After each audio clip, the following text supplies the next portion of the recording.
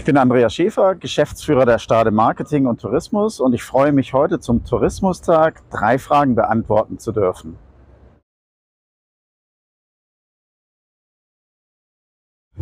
Grundsätzlich können wir sagen, dass wir mit den touristischen Zahlen für 2022 sehr zufrieden sind.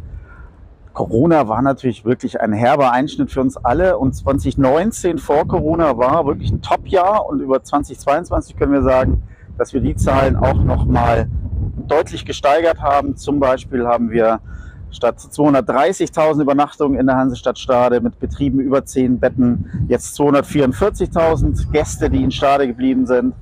Wir haben eine Auslastung von fast 35 Prozent in Stade bei den Hotels. Niedersachsenweit sind wir knapp über 30. Also grundsätzlich tolle Zahlen. Wir haben eine gute Entwicklung und wir sind sehr zufrieden. Und 2023 kann man auch jetzt schon prognostizieren, ist auch tatsächlich, wird wieder ein gutes Jahr werden für den Tourismus in Stade und Umland.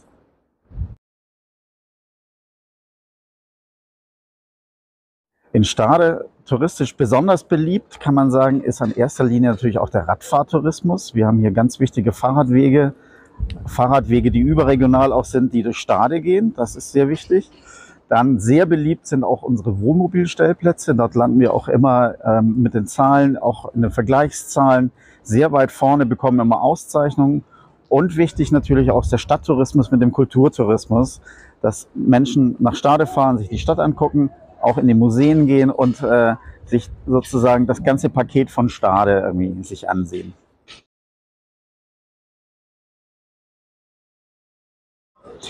Meine drei persönlichen Highlights in Stade sind erstens einmal natürlich der alte Hafen mit dem Fischmarkt, wo wir gerade stehen.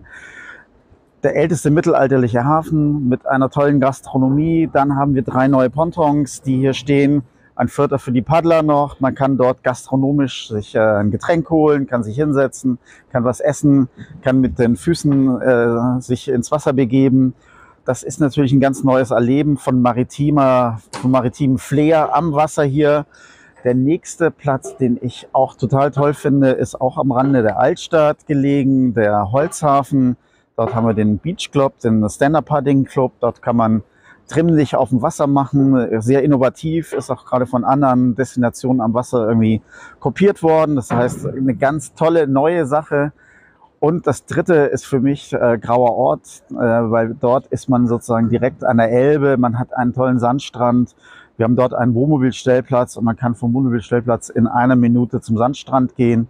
Herrlich unberührte Natur und kann dort die großen Pötte mit angucken, sodass man wirklich sieht, Stade liegt an der Elbe, an der Schwinge und ist einfach eine maritime Stadt.